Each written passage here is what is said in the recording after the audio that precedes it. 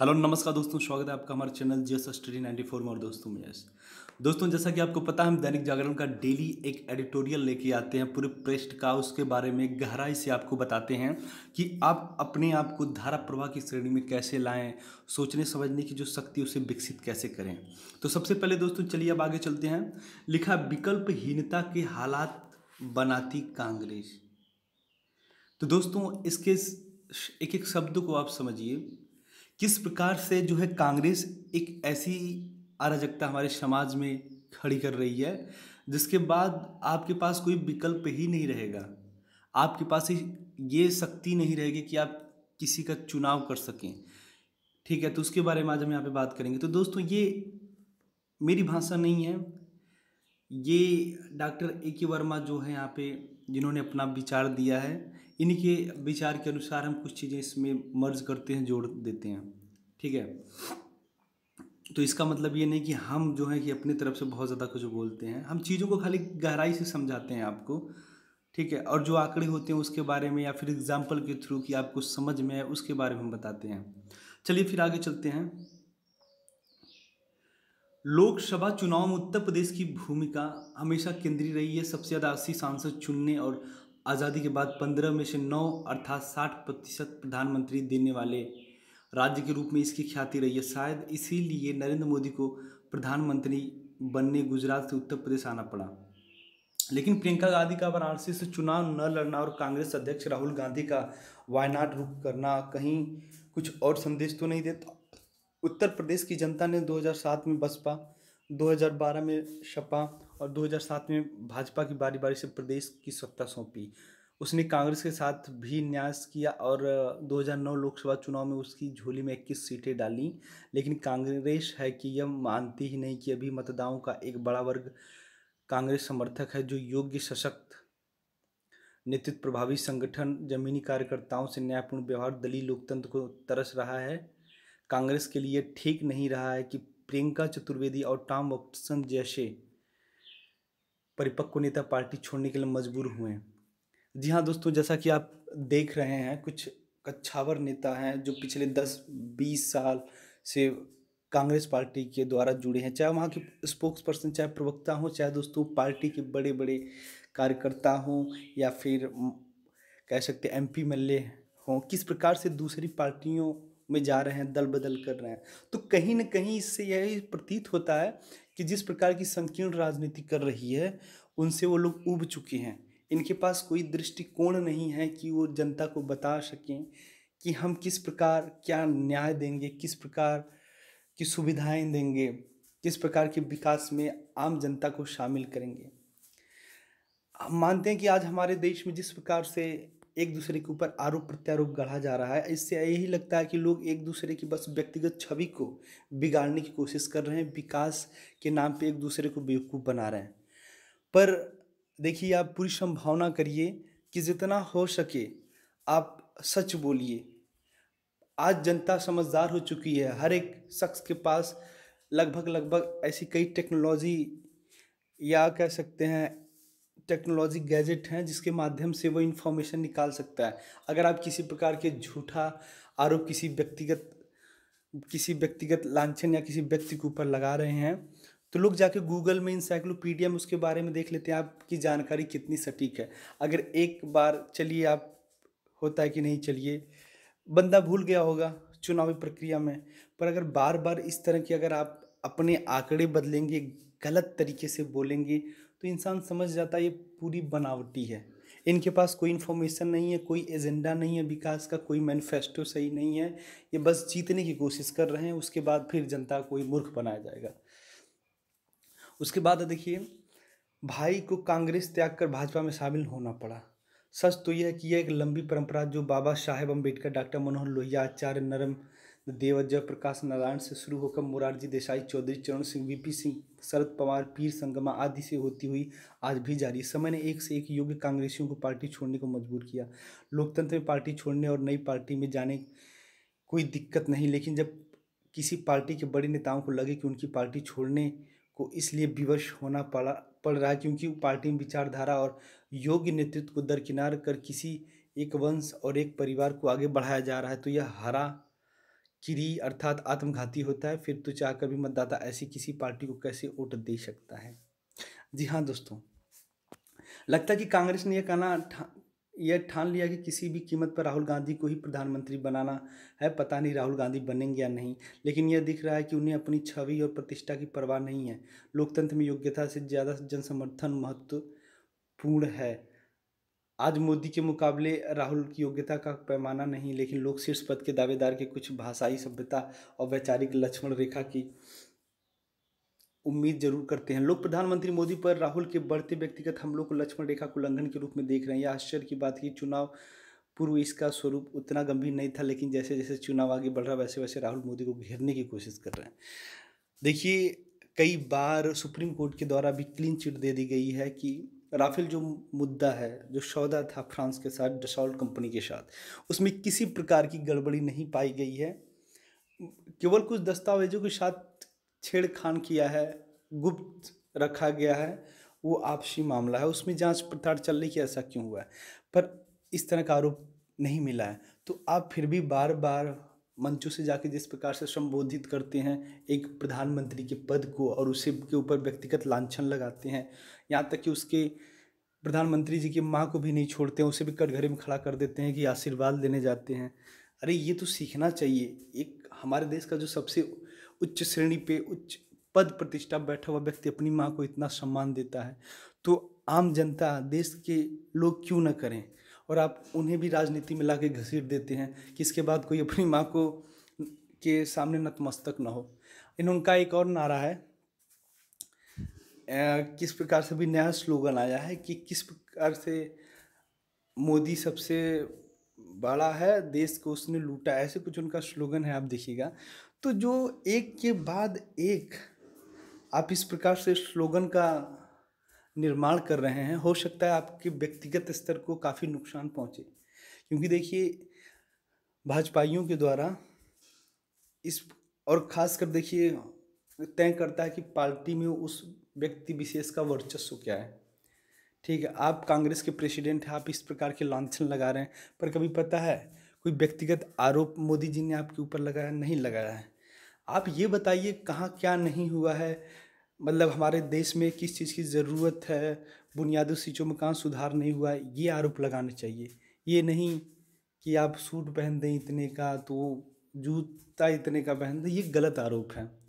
किसी भी देश के प्रधानमंत्री के लिए सही नहीं है। उसके बाद आप बताइए, हमारे देश के जो उद्योगपतियों में से एक है पूरी दुनिया में जाने जाते हैं अनिल अंबानी आपके पास कोई भी एविडेंस नहीं है, फिर भी बार बार किस प्रकार से उन्हें आप बेइज्जत कर रहे हैं? मंचों से जाके अनिल अंबानी चोर है, तीस हज़ार करोड़ का गबन किया है और ये बी के द्वारा दिया गया है, मोदी जी ने दिया है, इस प्रकार के आरोप आप लगा रहे हैं। तो कहीं ना कहीं सुप्रीम कोर्ट भी अब सोच रहा कि अब सख्ती से कुछ कार्रवाई किया जाए राहुल गांधी के ऊपर, क्योंकि बहुत हो गया। जब आप नहीं मानेंगे तो क्या करेगा कोर्ट? कांग्रेस को शायद इसका आभास नहीं कि राहुल गांधी जितने ज़ोर से चौकीदार, चोर का नारा बुलंद करते हैं, जनता की नाराज़गी उनके प्रति उतनी ही बढ़ती है। अब तो सुप्रीम कोर्ट ने भी इस नाराज़गी ज़्यादा की। राहुल गांधी ने इसके हवाले के कैसे कहा कि चौकीदार, चोर है? ऐसा प्रतीत हो रहा है कि विपक्षी जितना मोदी के विरुद्ध गोलबंद हो रहा है, जनता उतनी मोदी के पक्ष में लामबंद हो रही है। यह भारतीय जनता का विचित्र प्रवृत्ति है। वह उस व्यक्ति के साथ खड़ी होती है जिसके साथ उसे लगता है कि न्याय नहीं हो रहा है। यह स्थिति इंदिरा गांधी की याद दिलाती जिस जनता ने 1977 में इंदिरा को उखाड़ फेंका, उसी जनता ने जनता पार्टी सरकार द्वारा उनके विरुद्ध उठाए गए कदमों का स्वीकार करते हुए 1980 में पुनः प्रचंड बहुमत दिया। लेकिन कांग्रेस है कि मानती यही नहीं। कांग्रेस अध्यक्ष बार बार और लगातार मोदी पर वैचारिक आक्रामकता को अब शब्दों में पिरोकर न केवल उसे निष्प्रभावी बना रहे हैं, वरन मतदाताओं को मोदी के पक्ष में लामबंद करने के भी काम करें दुर्भाग्य से कांग्रेस के अन्य वरिष्ठ नेताओं को भी तो इस स्थिति से संतोष है या वे जानबूझकर कांग्रेस की इस दलदल से निकलने का प्रयास नहीं करना चाहते? इसलिए आश्चर्यजनक है क्योंकि कांग्रेस देश के कई राज्यों समेत सबसे बड़ी आबादी वाले राज्य उत्तर प्रदेश में बीते तीस वर्षों सत्ता से बाहर है। उत्तर प्रदेश में वह चौथे नंबर की पार्टी बनकर रह गई। इस बार के लोकसभा में अमेठी और रायबरेली में कांग्रेस से वर्चस्व के मिथक टूटने के आसार से इनकार नहीं किया जा सकता। यदि ऐसा हुआ तो कांग्रेस में योग्य प्रभावी नेतृत्व एवं आंतरिक लोकतंत्र का एक नया दौर खुलेगा। जी हाँ दोस्तों तो इसके एडिटोरियल में, इसके संपादकीय में यही है कि आप राजनीति करिए, पर वास्तविक मुद्दों के राजनीति करिए, जो हमारे देश की जनता को ज़रूरत है। आज देश की जनता को ज़रूरत है कि आप बात करिए, आप चीज़ों को उठाइए, अपने मंचों से बेरोज़गारी को उठाइए, गरीबी को उठाइए, कुपोषण को उठाइए, स्वास्थ्य संबंधी जितनी भयानक बीमारियाँ हैं, उससे उठाइए। बच्चों के पोषण के लिए, महिलाओं के पोषण के लिए, उपेक्षित समाज के लिए, पीड़ित समाज के लिए, किसानों के लिए सैनिकों के लिए ये सब बातें उठानी चाहिए। न कि आप जिस प्रकार की राजनीति कर रही हैं, व्यक्तिगत लांछन लगा रही हैं। ये क्या कोई, जैसे लग रहा है कि कोई परिवार का कोई एक पद है, जिसे आप व्यक्तिगत लांछन लगा के उतार देंगे? कि नहीं, और व्यक्तिगत लांछन ऐसे भी आप समझ ही रहे हैं कि माँ का पैर छूते हैं, सूट पहनते हैं, बूट पहनते हैं, प्रधानमंत्री पद है, जो हमारे देश के 130 करोड़ जनता का प्रतिनिधित्व करते हैं। अगर वही कंगाल टाइप के रहेंगे या फिर कहें कि मैले कुचौले कपड़े पहनेंगे तो उस देश की वास्तविक छवि कैसे जाएगी?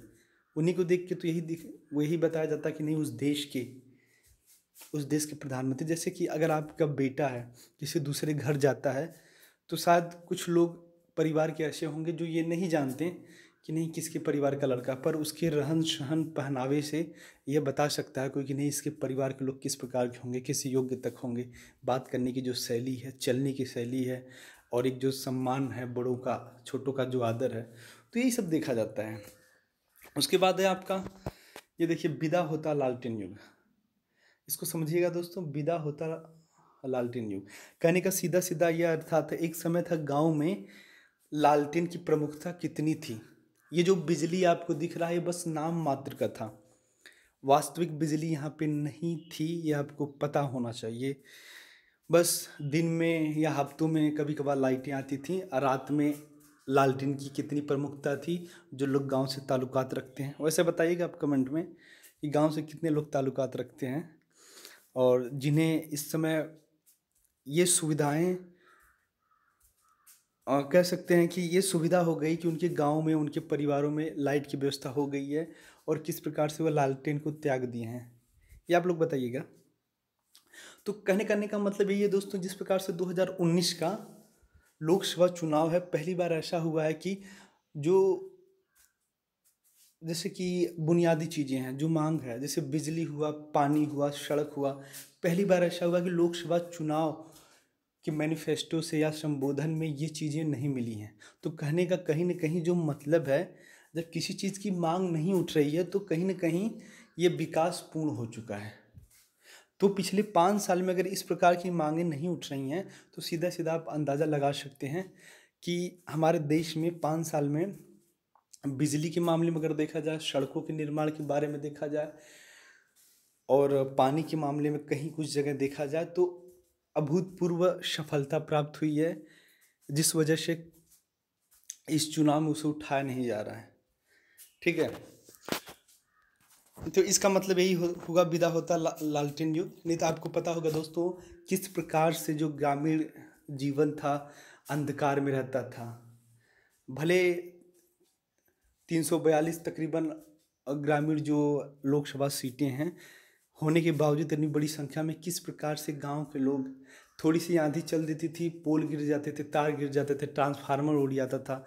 महीनों महीनों भर लोग राह देखते थे कि कोई ऑफिसर आएगा, कोई जाँच करता आएगा, फिर से लगाएगा, फिर से बनाएगा।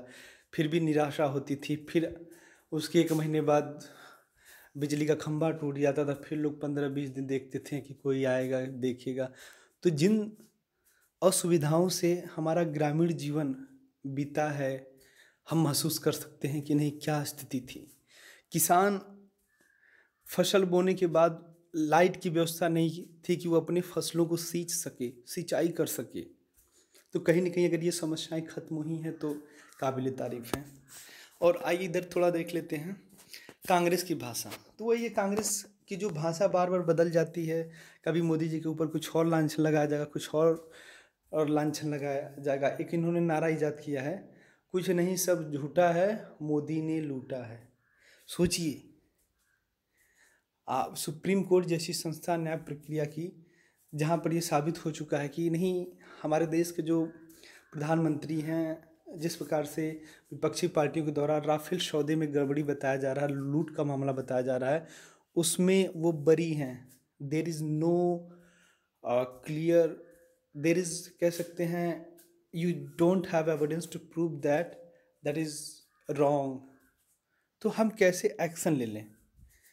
तो वही चीज़ है इस प्रकार की, जिस प्रकार से ये लांछन लगा रही हैं। उनके साथ साथ जो उनके कई गद्दावर नेता हैं उनके ऊपर या फिर कुछ उद्यमी हैं उनके ऊपर ये कहाँ तक सही है, आप लोग भी महसूस करिएगा, सोचिएगा। उसके बाद है दोस्तों, ये अंतिम परीक्षा नहीं। ये विशेष कर मैं कहना चाहता हूँ, जो दसवीं और बारहवीं के बच्चे हैं यूपी बोर्ड के, उनके लिए या फिर और भी बच्चों के लिए है। पर जो स्पेशली मैं बात कर रहा हूँ, उन लोगों के लिए ये वीडियो है। क्योंकि उन्हीं से संबंधित ये लिखा है कि हाई स्कूल और इंटरमीडिएट परीक्षा में शत प्रतिशत परीक्षार्थी उत्तीर्ण नहीं होंगे। जी हाँ दोस्तों, जिन बच्चों ने, जिन बालक या बालिकाओं ने दसवीं, बारहवीं का एग्ज़ाम दिया है, देखिए, ज़िंदगी में तमाम तरह की चीज़ें आती हैं, निराशा। अभी तो आप अपने जीवन का पहला पड़ाव रखने जा रहे हैं। असफलताएँ बहुत ज़रूरी हैं एक सफल व्यक्ति के लिए। तो आप किसी प्रकार से निराश मत होइएगा। ठीक है, अगर आप सफल भी होते हैं तो ठीक है, असफल भी होते हैं तो आप भी स्पेशल हैं। आप फिर से कोशिश करिएगा कि, ये क्या है ये नहीं है कि आपके जीवन का पहला ही एग्ज़ाम है। आप फिर से मेहनत करिएगा, अच्छे नंबर लाइएगा बार बार मेहनत करिएगा, पर आप किसी प्रकार से ऐसी किसी भी गतिविधि को अपने अंदर संचालित मत होने दीजिएगा, जिससे जिसके द्वारा आपके अंदर एक निराशा हो।